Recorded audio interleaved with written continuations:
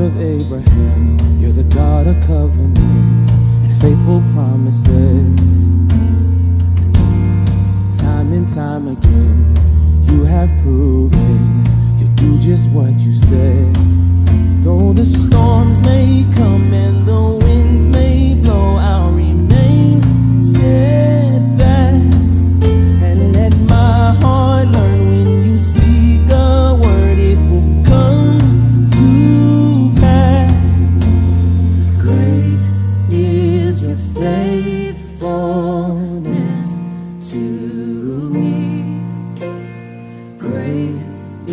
is your faithfulness